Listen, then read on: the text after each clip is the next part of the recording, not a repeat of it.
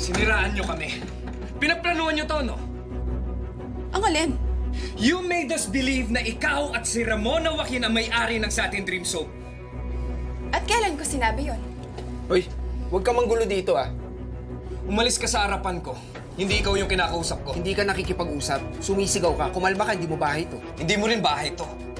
Kung gusto mo kumakawanan mo, nabangan mo ako doon sa labas. Pagpipigyan kita. Alam mo, hindi kita atrasan. Pero kung gusto mong kausapin si Lena, dito lang ako. Ano ka ba niya? Ha? Kamag-anak? O boyfriend? Kaibigan, na nagmamalasakit. Kung gusto mong makipag-usap, huwag kang sisigaw at huwag kang mananakit. O sige, hindi ako sisigaw. Pwede na ba kami mag-usap?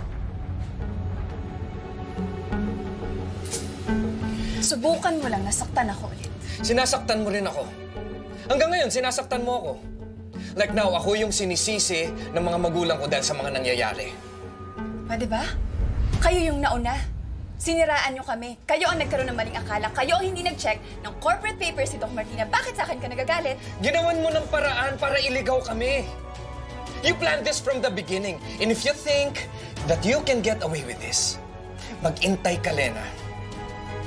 Hindi ako nakakalimot sa mga atraso. Magbabayad ka.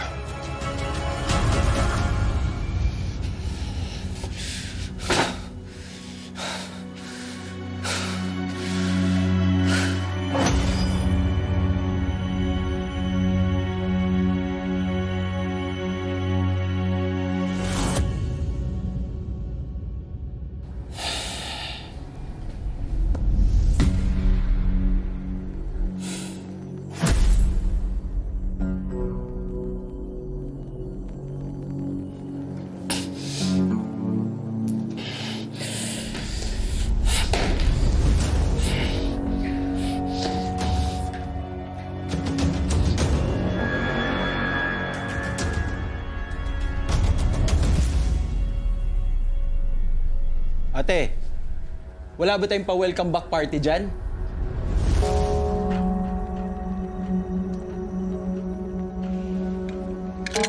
Pwede ba?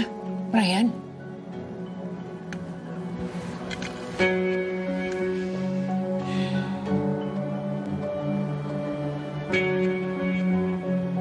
Binabantayan niyo yung presyo ng Royal Weldeck stock. Ano? Ba't mo bagsak yan?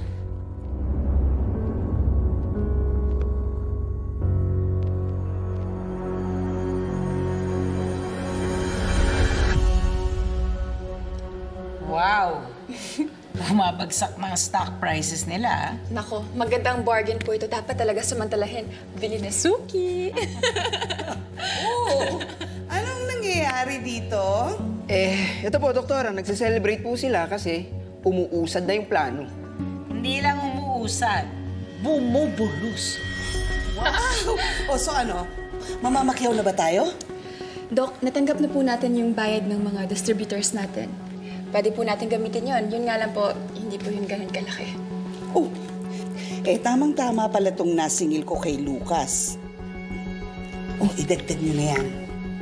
Ate! Uy! Nako!